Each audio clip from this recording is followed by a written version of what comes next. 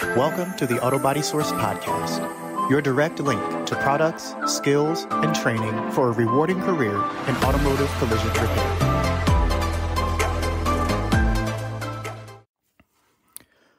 Most persons would chalk up 2020 as the year we all could have skipped.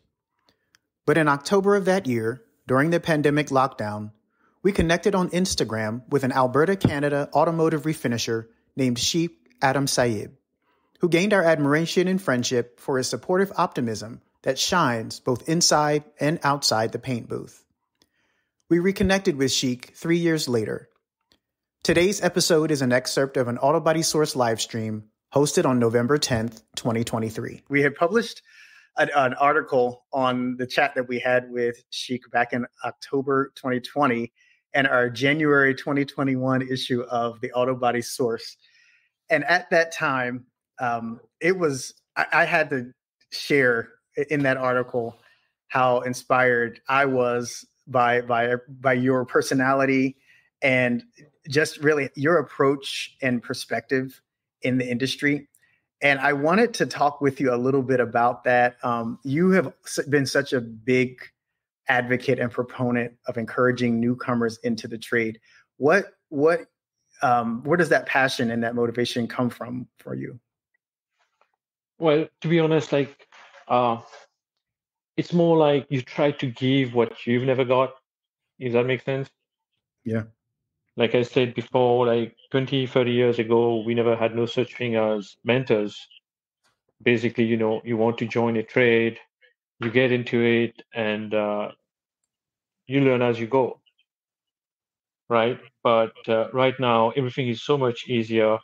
Uh, you can connect and reach out to to anyone and uh, you know ask for help. And we're always there to to to share our experience and knowledge. And uh, i think it's it's I, I, think it's not just me but everybody here knows how important it is to uh, welcome support and encourage the newcomers uh, in the industry. So we do our best and you know try to show that we're always there. You can always reach out anytime you know like I said, we never had this before. Now you can connect and reach out to anyone anytime, right? And I believe wisdom and knowledge is given by God, and it's our responsibility to share it. Yeah, yeah, def- I definitely. I remember you saying that back when we initially chatted. Um, you've always been that optimistic. I, I, get that impression.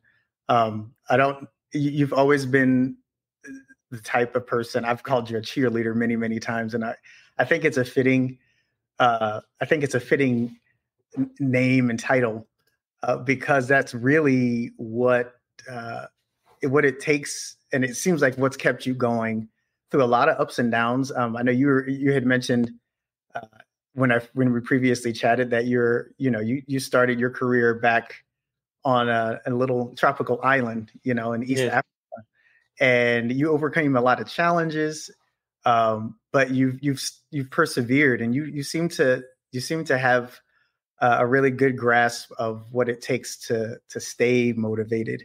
What is you, what you have to. You have to right? Because I, I believe positivity is key in your mindset.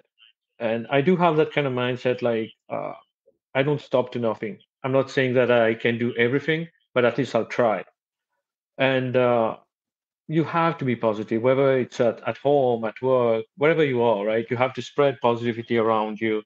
Uh, that is the only way it's going to come back to you.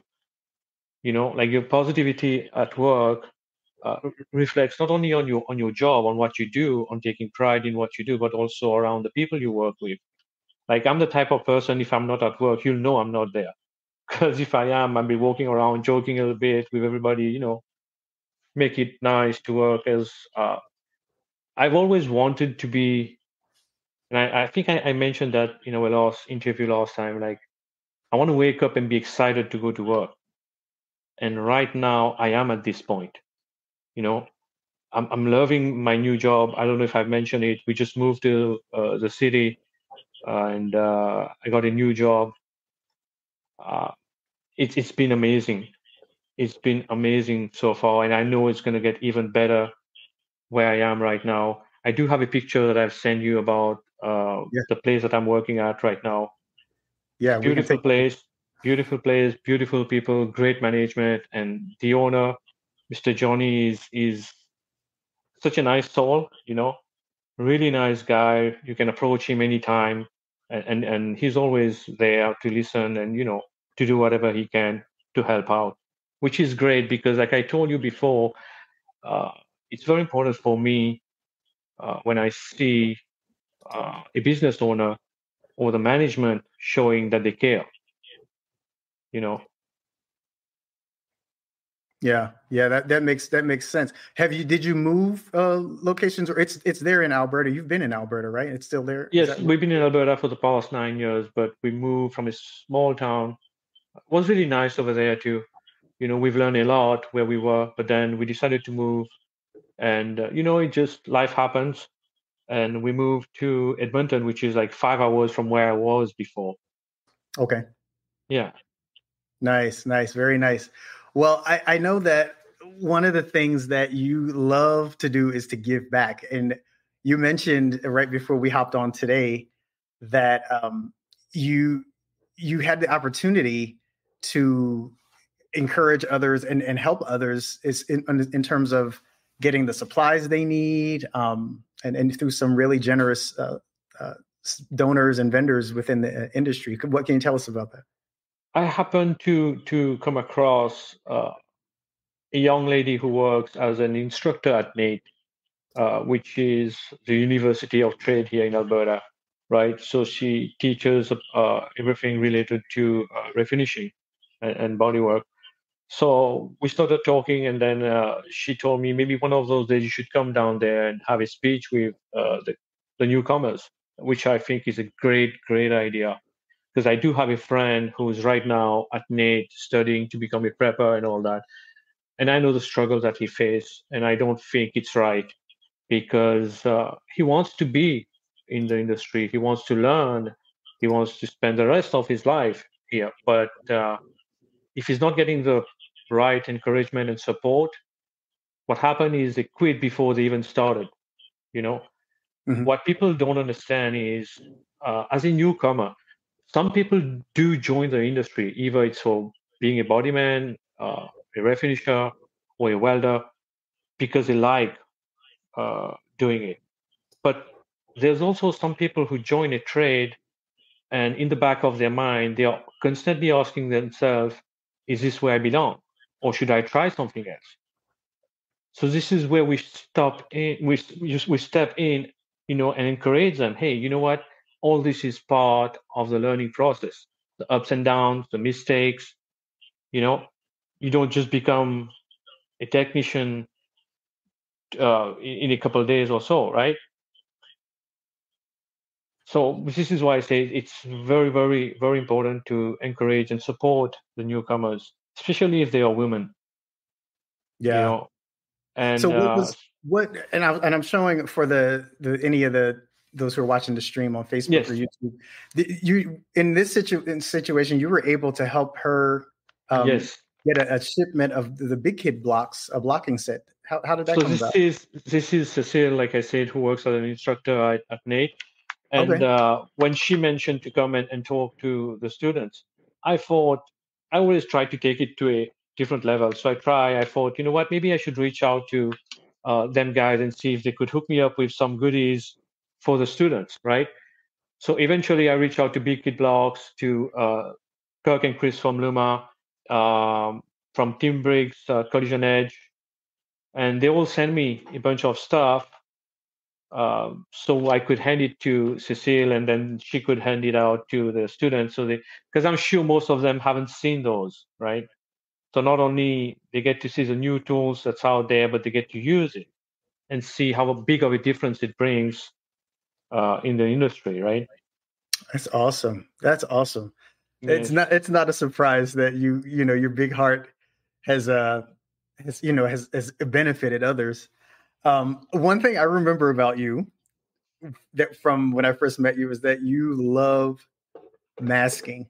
Um, probably Yes. more, more than anything else. And um, I do. eh, I do. it- how did you come to how did you come to uh lo- develop a love of that? Even though you you're an outstanding painter, where did where did that start? Thank you. So uh, this is a Herafix uh, soft edge tool, which is really really nice. And before that, I had uh, the one from Collision Edge, which is a great tool too. They all works really great. You know, uh, I love masking more than painting only because I think when I do a good masking job, that kind of encourage me to do an even better paint job, if that makes sense. Yeah. Right. So yeah, I Yeah. take pride. I, I take really, really pride in, in, in time to mask my, my paint jobs and all that. Yeah. Yeah, that's awesome, man. That is awesome. Do you do you feel that there are in, terms of tools, do you feel like there are certain tools that you are like are your go-tos um, that make a, te- a, a technician's life easier or, or things that you've uh, developed tools that you kind of developed along the way? There, there are uh, quite a few, but uh, I have uh, the Sun Pro Light and the spray guns from Luma from Chris and Kirk, which I think are great. I just posted a video earlier to show how big of a difference it makes uh, when you have the Sun Pro Light attached to your spray gun. And then you have, like I said, uh, the tape thing, tape caddy and all from Tim Briggs Collision Edge.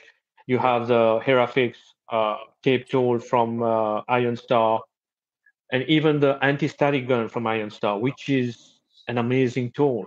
Because for us uh, refinishers, the last thing we want to do after painting a job is to go and spend like a couple hours polishing and all that. Whereas this is where the anti-static gun comes in and, and helps a lot. Last time I did an eggshell finish on a Hyundai, and it was crucial to make sure there's no dirt nibs in it because you can't polish it. It has to stay flat. And I was so happy I had the Iron Star anti-static gun and helped me out really nice, you know. Yeah, yeah. That's awesome, man. That's awesome. Yeah. Well, I I um I've enjoyed catching up with you. Um I know one of the things that you've always encouraged newcomers to do is to reach out to this community on on social media. Yes. Uh, why do you why do you feel like that's important? again, like I said, if, we don't do that, they're going to quit before they even start because I know how it feels. We've been there. We've been there. Even though we never had any mentors, we had no choice than to keep pushing through, right? And thank God we made it, right? But right now, it's crazy. Everything is different. So you have to really support them and, and explain to them. Uh, like, for, for example, if, if you are to ask me about experience, how do you define experience? You might be doing something for 30, 40 years, but never had any issues. You've always been doing doing it right. You've never acquired any experience. You only acquire experience throughout mistakes, which you make sure you don't repeat, right? So this is where we have to explain to them, like, hey, you're gonna make mistakes, and it's all right. Just embrace it. Just make sure you don't repeat it. Keep pushing through. We are there, and I always say to anybody who uh, comes in as a newcomer in the shop, wherever I'm working, I'm always like, you know what? I'm there anytime. I'm there, but at the same time, I'm not. I'm there for you to reach out, even if you have to ask me the same question 10 times in the same day, it's all right. But I'm not there just so you don't feel like I'm breathing down your neck all day long. Right? Yeah. So Yeah. feel free to reach out anytime, you know. Yeah. And there's not just me, there's Chris Crow, there's uh, Todd from Island Concept, which is always there for, for, for all of us, right? So Yeah. Yeah. Todd was actually if he was free today, he was actually going to hop on uh the Oh, stream with us today. man. Yeah. He was gonna he was would gonna pop in and he was gonna pop in and surprise you, but uh his oh schedule wouldn't- man. his schedule wouldn't let him. Uh, but he did say hello. And Yeah. um, I, I if there was one last thing I was curious about, and it's not it's something that I don't think a lot of people, at least I hadn't thought of. Ter- when you think collision repair, even if you're a student, uh, you are very very um, skilled at heavy equipment painting.